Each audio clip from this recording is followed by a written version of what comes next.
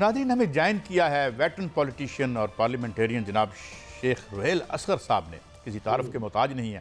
Thank you very much Sheikh sahab. Sheikh sahab ये फरमाइए कि मैं इब्तदा में हम ये कह सकते हैं कि ये चौथा जमहूरी दौर है और इसमें कोई इंटरप्शन नहीं हुई जो हम गिला करते रहे हैं। लेकिन शेख साहब हम अगर 2008 से देखें तो वही डब्बे खोलें चार जो है जो अब खैर से जो है वो भी आ गया फार्म 45 आ गया। और इस कोरस में सारे शामिल हैं। यानी आपकी पार्टी के लोग भी हैं। मैंने मुझे नहीं पता कि आप भी इसके विक्टम बने हैं या नहीं बने क्योंकि आपकी भी बड़ी सिक्योर सीट थी। तो ये कोई सियासी बलोगत का ख़तरा है? कोई हम जो है आपस में मिल के करें और ये जमहूरियत आगे बढ़ती रहे शेख साहब? अच्छा मेरी मे, मेरे जो मेरे ख्याल है ना उसका इजहार आपने किया। मेरा मानना यह है कि देखें, ये चलता रहेगा। आपके पास, मिसाल के तौर पे, मेरी अगर, मेरे को ग्रीवियंसेस है तो मेरे लिए बहुत सारे फोरम है। मैं चला जाऊँ इलेक्शन कमीशन में जाऊँ जाऊँ एप्लीकेशन दूँ कि मेरी आप रिकाउंटिंग कर लें। अगर मेरी वहाँ पे कोई नहीं सुनता तो मैं ट्रिब्यूनल में चला जाऊँ ट्रिब्यूनल नहीं सुनता, मैं हाई कोर्ट में चला जाऊँ। हाई कोर्ट नहीं सुनता, मैं सुप्रीम कोर्ट में चला जाऊँ। ये मेरे फोरम है, जो लीगल फोरम है, जो मेरा राइट है। लेकिन मुझे इस बात से थोड़ा सा इख्तलाफ होता है कि आप यहाँ पे बैठ के प्रेस कॉन्फ्रेंसेस करते हैं इल्ज़ाम लगाते हैं और पता नहीं क्या कुछ, जो आपके मुँह में आता है, आप कहे चले जाते हैं।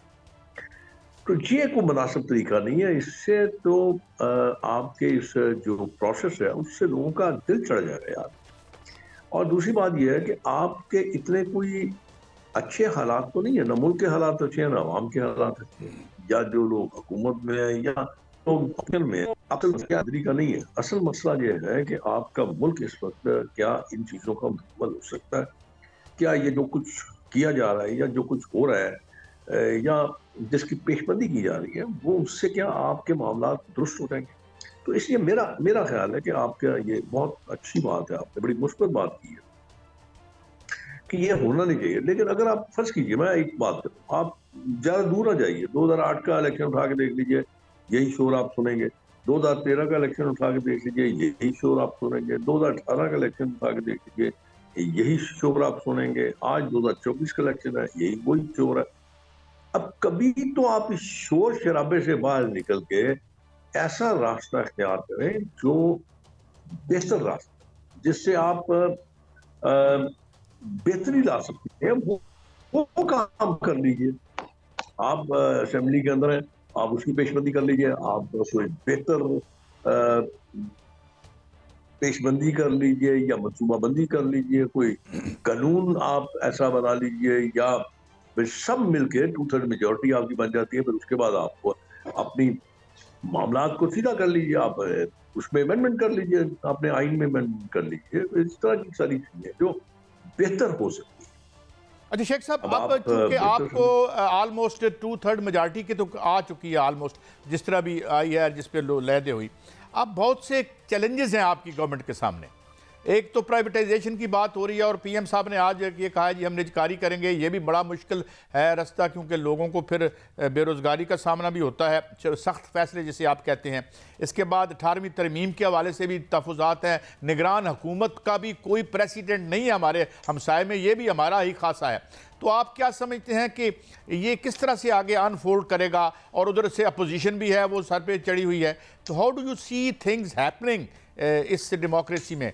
जो हालिया इलेक्शन मैं आपको मैं आपको गुजारिश करूँ इसमें सबसे ज़्यादा अहम जो होगा ना अहमियत का हमल होगा वो आपकी होगी हुकूमत। हुकूमत को बड़ी ही सोच विचार से बड़े ही तहमल और बर्दाश्त से बड़ी बुर्दबारी से ये मामला को देखना और अपना सौ फ़ीसदी अपना जो तोजो है वो आपको अपने मसाइल की तरफ़ देखिए ऑपोजिशन जिस किस्म की ऑपोजिशन है, या जिस किस्म की ऑपोजिशन की जा रही है, आपने देखा होगा ना पिछले दो, चार, पाँच दिनों में। तो उसको आप बिल्कुल नजरअंदाज करके लोगों के मसाइल की तरफ़ पहुँचा करें। अगर खुदा ना खास्ता देखें मैं आपको गुजारिश करूँ अगर खुदा ना खास्ता आप ये काम ना कर सके तो मेरे ख्याल में फिर आपको इस इस अदारे तो मैं बात नहीं करूँगा बात बाद में होगी। इस सिस्टम को बचाना आपके लिए बड़ा मुश्किल हो जाएगा। क्योंकि फिर ये कमज़ोर से कमज़ोर होता चला जाएगा और आपने इसको कमज़ोर कर दिया हुआ और शेख साहब अगर मैं आप माफ़ी चाहता हूँ मैं इंटरजेक्ट करूँ आप ये कह रहे हैं कि निज़ाम को खतरा है ये अगर ये सही तरीके से आगे ना बढ़े तो निज़ाम खुदा न खास्ता खाकम बदन लपेटा भी जा सकता है। अगर मैं क्लियर टर्म्स में बात करूँ तो। हाँ